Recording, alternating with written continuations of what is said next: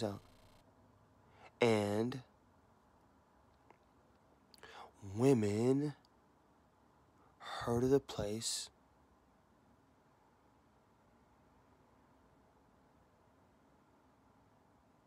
Went back and told the men, and the men got credited for it. but before that, remember? Remember that part where they couldn't see who he was until after he broke the bread? Or did the gesture some gesture that they recognized to be that of him who which they had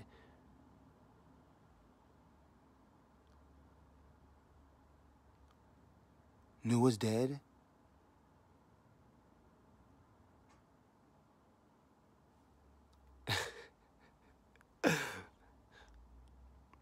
Three minutes. I got eternity. you only have a little bit of lifetime. So, no parables.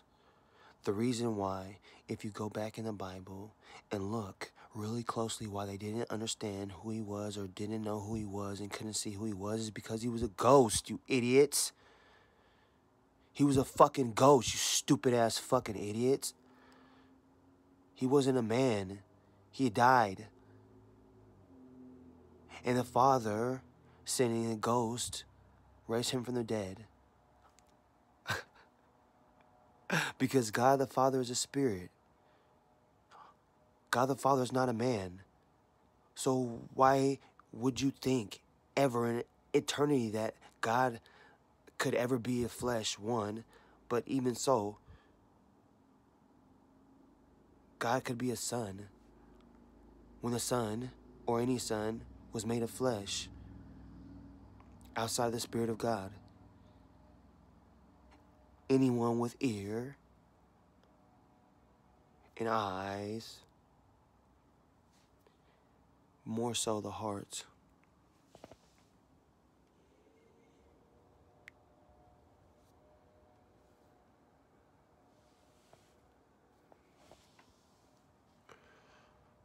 To honor my house. You will get it. You don't get it because you're all blind. Y'all walk in darkness. You don't know. It's too late to know if you don't know already. But you're to understand that ghosts are real. And above all ghosts, or mouse spirits, or good spirits, only one reigns, and only one sits on an invisible throne in all eternity. And there's none other but one that sits on the throne of all eternity. And that Spirit's name is not Jesus Christ. But may God bless the interpretation and the translation of that name in its true essence under the house of Abraham also known as Abram. Amen. This is going to be so fun. The fun thing about everything being everything is that she'll be back.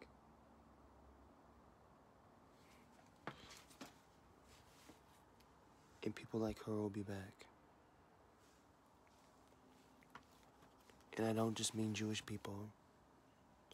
I mean that we're all getting ready to witness the earth open up and give up all its dead. it's gonna be so fun. There's no CGI involved here.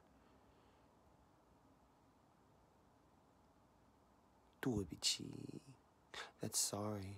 I'm sorry in Mandarin. I love that language, don't you? Six minutes. Just like Toastmasters. There's not a lot of ums here, are there? No, there's not. I know exactly what I need to say and what I want to say. Earth, you've been warned. You've all been warned that in the twinkling of an eye, there would be disturbance. Well, guess what? That disturbance is so very close to the earth. Destruction.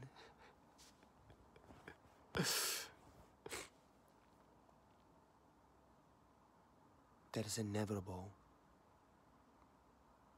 There will be immense punishment and unrepairable damages to every bloodline on the earth, including the bloodline of Israel itself, which saddens me so very so much, but yes,